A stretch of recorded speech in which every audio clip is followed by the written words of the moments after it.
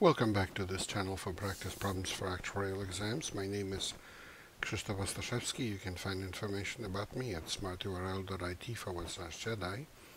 My advice on how to pass actuarial exams is at smarturl.it forward slash pass. This video channel is at smarturl.it forward slash pass actuarial exams. Here's um, information about uh, online seminars and study manuals for exams PFM, IFM, and LTAM that I offer at these smart URLs.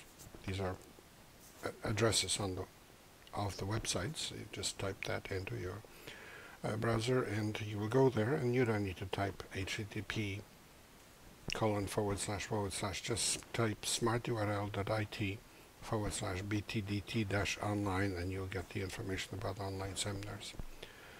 I direct the actuarial program at Illinois State University. You can uh, go to that uh, the website of the program by going to smarturl.it forward slash actuary.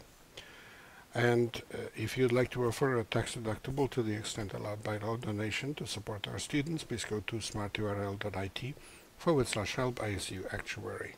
Here's a problem for today, for exam P on probability.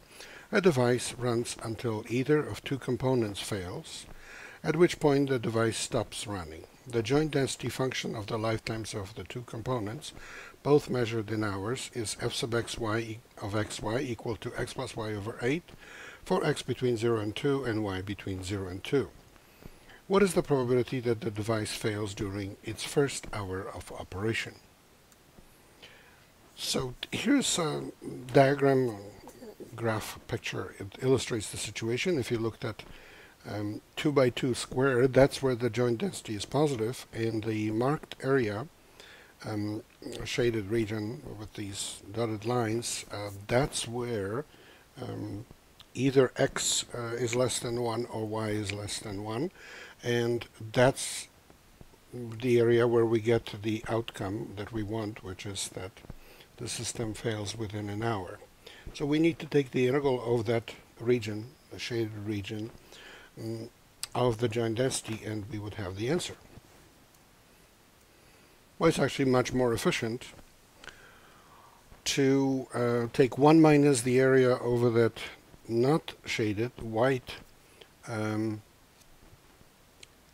mm, area uh, of the joint density. So 1 minus the integral from 1 to 2 of the integral from 1 of 1 from 1 to 2 of x plus y over 8 dx dy. That's it. Um, we do the integral with respect to x first. We get uh, x squared plus 2xy over 16 evaluated from x equal to 1 to x equal to 2. And then, of course, we take the integral from 1 to 2 of that uh, with respect to y, and 1 minus that is the probability we want.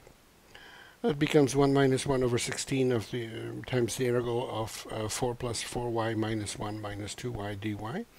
So 1 minus 1 over 16 times the integral from 1 to 2 of uh, 3 plus 2y dy. And that's 1 minus 1 over 16 times 3y plus y squared evaluated from y equal to 1 to y equal to 2. That becomes 1 over 1 minus 6 16, so it's 10 over 16 of 5 over 8, which is uh, 0.625. Answer D. Uh, please remember this is copyrighted material. The problem itself comes from the Society of Actuaries. The solution is mine. Good luck in your studies and good luck on the test.